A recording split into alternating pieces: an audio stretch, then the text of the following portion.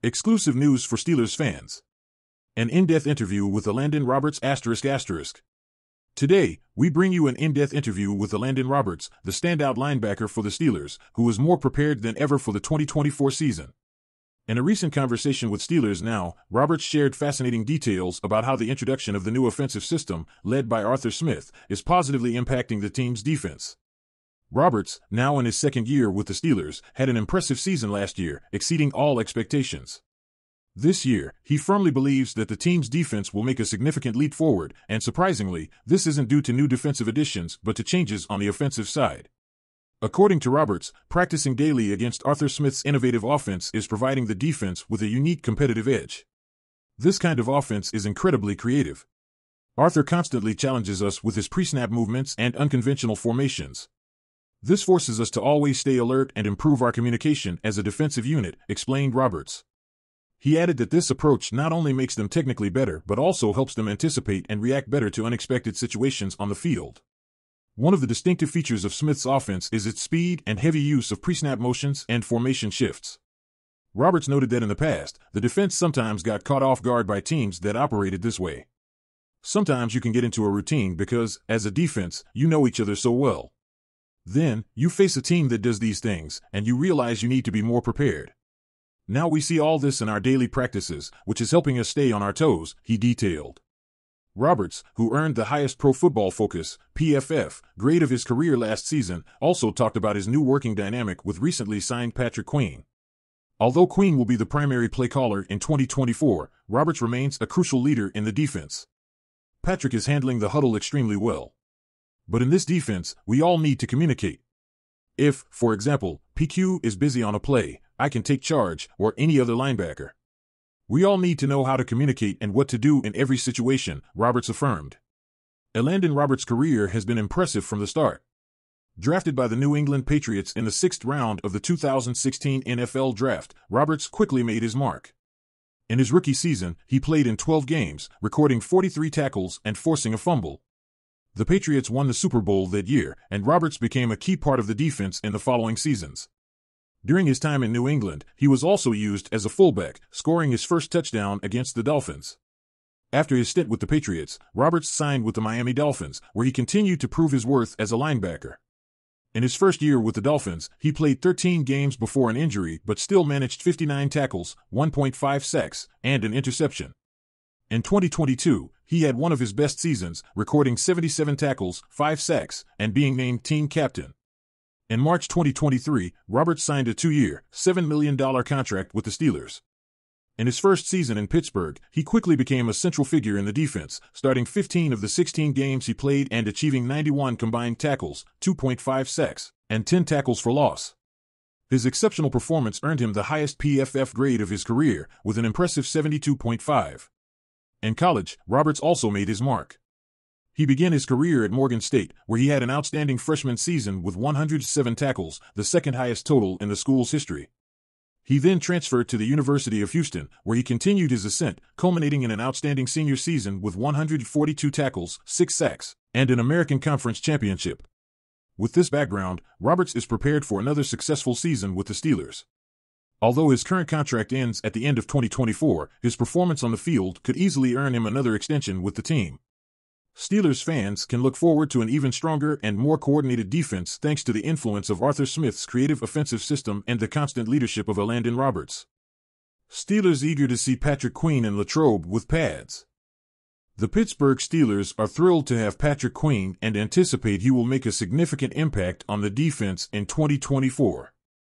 Snagging a second team All Pro linebacker from your biggest rival is a brilliant move in every sense.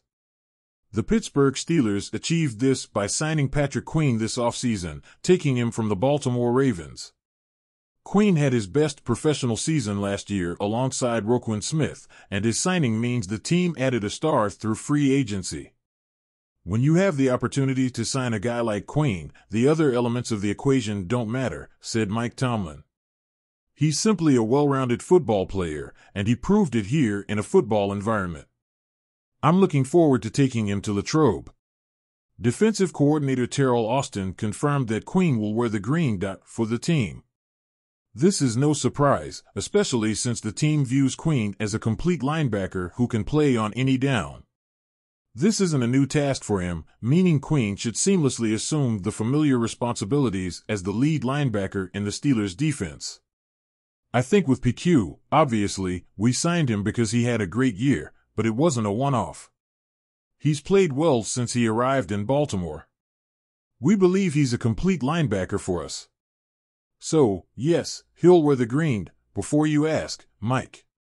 And he'll be the guy on every play, but I think he does unique things because he can cover, he can blitz, he can do a lot of things, and he's a very smart football player.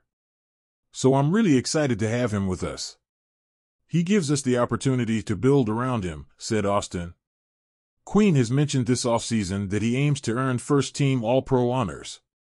If he can take another step forward, this time with the Steelers, he has the chance to achieve those accolades. With Queen's signing, Pittsburgh added another star to their defense, which already boasts multiple stars at every level. When the pads come on in Latrobe, Queen aims to make an impression, and the Steelers are eager to see him. Alongside Payton Wilson, Elandon Roberts, and Cole Holcomb, Queen will be the head of the deepest inside linebacker room the Steelers have had in a long time. Exclusive news for Pittsburgh Steelers fans. Attention, Pittsburgh Steelers fans. Exciting moves are on the horizon for our team, and we're here to keep you updated on all the details. After an offseason full of signings and strategic adjustments, the Steelers are still looking to add a crucial piece to their roster, an impact wide receiver. Rumors have been swirling intensely, and several NFL insiders like Michael Lombardi and Jason La Canfora are convinced that the Steelers are about to make a significant move. According to these experts, the team has been actively exploring the wide receiver market and might finally seal a deal before the season starts. During the NFL draft, there were strong rumors about a possible deal with the San Francisco 49ers to acquire Brandon Aiyuk. Although that trade didn't materialize, the hope and expectation around this potential signing have not diminished. Jason La Canfora, in his recent episode of the In the Huddle podcast, mentioned that he is convinced the Steelers will add a wide receiver via trade before the deadline.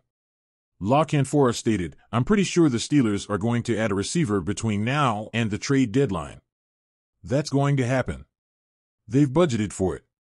They've been trying to make it happen. I'd be very surprised if they don't get it done. As for potential candidates for this significant signing, Brandon Aiyuk seems to be the most likely option. Negotiations between Aiyuk and the 49ers over a contract extension have not progressed as expected, and the latest report indicates that the team's most recent offer is around $26 million, a figure Aiyuk has yet to accept. This situation has led many to believe his departure from San Francisco could be imminent, and Pittsburgh appears to be the most logical destination. However, Aiyuk is not the only name on the list. Courtland Sutton of the Denver Broncos has also been mentioned as a strong option. His contract situation might be more manageable for the Steelers, offering another route to bolster their receiving corps. Additionally, other names to consider include John Metchie from the Houston Texans and Jakobi Meyers from the Las Vegas Raiders, who could be intriguing surprises if those options are explored. But what if the Steelers don't manage to finalize a trade? The team has several internal options they trust. Van Jefferson seems to be the leading candidate to occupy the WR2 position behind George Pickens. Additionally, Calvin Austin, Quez Watkins, and Scotty Miller are ready to contribute significantly to the offense.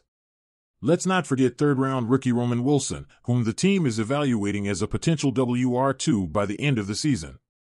So, dear fans, stay tuned and don't miss any updates on this exciting situation. The Pittsburgh Steelers are ready to surprise and give their best in the upcoming season. Here on your Steelers News channel, we will keep you informed with every detail of this thrilling story.